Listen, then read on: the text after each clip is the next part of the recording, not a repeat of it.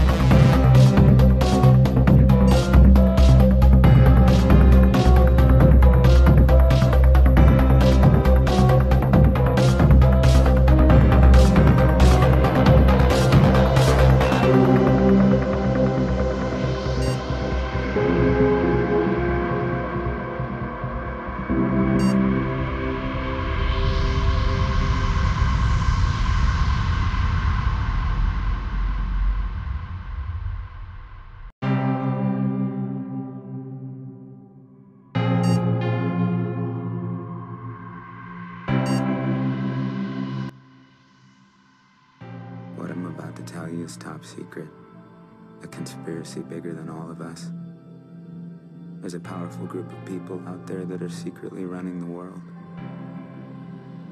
I'm talking about the guys no one knows about, the guys that are invisible. The top 1% of the top 1%, the guys that play God without permission.